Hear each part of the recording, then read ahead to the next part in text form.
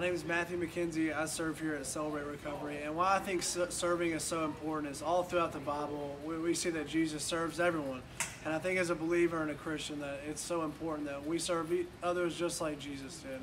And doing so is such a blessing, putting others above yourself and, and just being a true servant. And uh, that's why I enjoy serving. I serve because I love God. I love the feeling that it gives me when I do serve. It's, uh, it's a blessing beyond any measure. I love serving in the kitchen and in CR because this is the one opportunity that our church family has to reach out and touch three to 400 families in our community a month. And it does. The, the small kitchen that we have, we touch three to 400 families a month in our church. And it is my pleasure. The Lord was a servant. I want to be a servant of the Lord. And this has been a blessing to me and my family. That's why we like serving in the kitchen. Good evening. I'm Miranda, and I am so excited to share with you all a principle that we find in God's Word that when we apply it to our lives, it really does change everything. Have you ever felt sad or down? Just felt like you couldn't shake it off? Or maybe felt overwhelmed, um, just stressed out by life? Maybe disconnected, not sure where you fit in. How about relationship troubles? Anybody ever experienced some relationship troubles? Maybe you and your spouse aren't getting along as well as you used to, not feeling as connected to your children as you would like, or maybe there was a friendship that had a falling out and having trouble figuring out how to repair that, or a coworker that you just can't seem to see eye to eye with. Well, we've probably all experienced things like that. I know that I have at, at times. And Jesus knew that we would experience those things also. So he outlined in his word, and he was an example for us of a principle that when applied, it can change the world around us, increase our personal happiness, and improve every relationship that we will ever have, every single one. That's pretty impressive. We're going to start with John chapter 13, and we'll start with verse 3 tonight. This tells the account of the Last Supper. This was Jesus' final meal with his disciples before he was crucified. Now, in Bible times, there was some etiquette that was a little different than what we're used to today. One of those things was when people arrived at a home, there was usually a servant there to offer to wash their feet. There was a basin and a towel because people walked everywhere. They walked on muddy roads, dusty roads, usually in sandals. So when they would arrive at their destination, their feet would be very dirty, and usually there was a servant who would offer to wash their feet for them. So let's look in chapter 13 of John. We'll start with verse 3. Um, verse 2 has said that, that supper was over. So they were there, they were eating together, supper was over. Verse 3 Jesus, knowing that the Father had given all things into his hands, and that he had come from God and was going to God, rose from supper and laid aside his garments, took a towel, and girded himself. After that, he poured water into a basin and began to wash the disciples' feet and to wipe them with the towel with which he was girded. So Jesus knew who he was. It tells us in verse 3 he knew that he had been given supreme power, he knew of his divine origin, he knew where he was going, but yet he still chose to take on the role of a servant. Culture says that as we become more powerful, more successful, that we will be served. We will be served and catered to.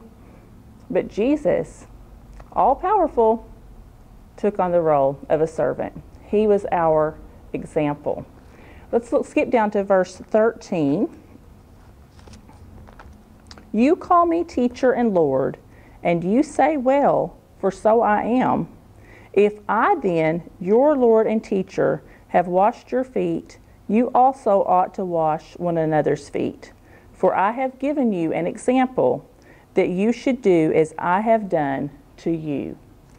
Now, the disciples could have done this. When they arrived there for that dinner and there wasn't a servant available to wash their feet, one of the disciples could have offered and said, Hey, I'll, I'll do this. But none of them did. You know, this might have been the first century, a long time ago, but people were still people, even back then. The scripture tells us of a conversation that they had had a little previously to this where they were discussing amongst themselves who was the greatest, who's the greatest disciple. That's more like our sinful nature, is to worry about who's the greatest among us rather than who gets to be the servant. But Jesus knew that he was going to be an example of that for us because our culture and everything inside of us would be pushing us the other direction. But he knew that choosing to be a servant, we could honor our Heavenly Father and build strong, healthy relationships. We are biologically wired to benefit from serving each other. Our brains receive more benefits from serving than we even do when we are served. You know, it feels good when we are down, when we are struggling, or maybe when it's a special occasion for someone to come alongside and, and serve us, pamper us, but it feels even better to be the person that gets to serve. Depressed, struggle with sadness, feeling down, find a way to serve others. The area of our brain that produces dopamine and serotonin, which are mood boosters that area of our brain lights up when we serve other people. Feeling stressed, serving others has caused, is shown to um, lower blood pressure and help us deal with stress better than we would otherwise. There's been over 40 international studies done that show that people who serve others regularly, who volunteer regularly, live years longer than people who don't. Again, it is no wonder that Jesus said it's better to give than receive. Let's look at verse 15 one more time. John chapter 13, verse 15. For I have given you an example that you should do as I have done to you. Jesus was telling his disciples and telling us today to shift from the desire to be served to serving others. When we do that, we grow in our commitment and it strengthens our relationships and honors God. What would the world look like if everybody set out to serve others? What would our church look like, our families look like, if that was a priority to serve others? We look at three areas where we can choose to serve. And the first one is our home. Ever heard the, the saying, home is where the heart is? It's also where we let our guard down a lot of times. You know, out in the world, we're on our best behavior probably tonight at small group, if there was one delicious looking cookie sitting there, probably we would hang back and make sure no one else wanted it. But hey, if we were at home, we might have just snatched that thing up and stuck it in our mouth real quick before anybody else could get to it. Out in the world, we're on our best behavior, but at home, again, we can let our guard down. And sometimes we get home from a long day, we're tired, we just want to relax. We don't want to serve but it's very important that we serve those in our home, in our families. We see oftentimes in marriages, but this can hold true for any relationship. You know, when the relationship first begins, we're all in. We're giving 100%, we're serving that other person. But then as, as time goes by and as life happens and things get stressful, maybe we start to feel like, you know, I think he's not serving me and giving 100% to me anymore. So I'm not going to give 100%. If he's not going to give 100%, so what happens? We kind of pull back. Well, then that other person, well, she's pulling back. I'm going to pull back. I'm not going to give 100% if she's not giving 100%. And so there it goes, kind of a nosedive. The way that we can counteract that, though, is to choose to serve. Even if we're angry, even if we're upset, choose to serve. Jesus washed the feet of Judas, and he knew that Judas was going to betray him, but he still chose to serve. That coworker we can't get along with, choose to serve. Siblings, adolescents, if you're here tonight at small group and you have trouble getting along with your siblings, choose to serve. Do their chores for them one day. hey, at the very least, it'll really freak them out. So that'll be fun, right? But again, choosing to serve can totally change the dynamics of our relationships, every relationship that we have. Another place that we can choose to serve is the church. We've all been given giftings, and the Lord wants us to use those to promote His kingdom, to further His kingdom. Everybody has got giftings that can be used in the church. It'll help you feel connected to your church family. You know, if we're going to be part of the family, we've got to help out with the household chores, right? That's what families do. So serving in the church helps us feel connected to one another. How do we do that? We have to explore what, what are my giftings? You know, if you're not sure, put some put some thought into that. Put some time into thinking through, you know, what are my giftings? And then talk to a leader in the church this is what I feel like my giftings are. Where can that be used to serve God's kingdom? I, there was a lady who started coming to our church and she told her small group leader, she went to small group and she said, I want to be involved. I can cook and I can clean. I want to be involved. And the small group leader said, Oh, I know exactly who to connect you with.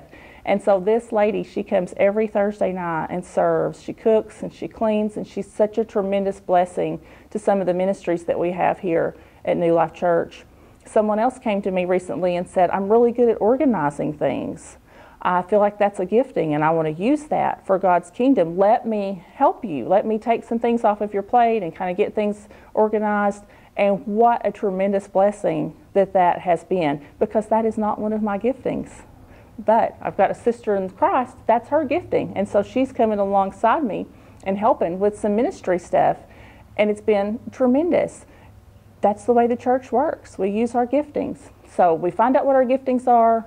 We ask leaders in the church, you know, where can, where can I be plugged in? And then the last thing we do is make a commitment to lifelong serving. The way we serve in one season of life may look completely different the, the way we would serve in another season of life but we are still committed to serving. Lastly, the community. When we choose to serve people that are outside of our family, outside of our friend circle, outside of our church, that opens doors. We show an example of Christ's love for people, and it opens doors for ministry. When we start to reach out and serve others, not expecting anything in return, it catches them off guard. And the Lord can use that to open doors for conversations about Him. You know, a few years ago when we started delivering some meals to some local businesses, they were so caught off guard. And one of the owners, he brought me in his office and he said, Now, why are you doing this again? And that opened the door for a conversation about why, indeed, we were doing that. And that was to show the love of Christ. So, serving the community, it opens doors. We honor God and we're able to show His love. I am so glad that I get to serve alongside some of the greatest people in the world, and that is my New Life Church family. I hope you guys have a great time of discussion.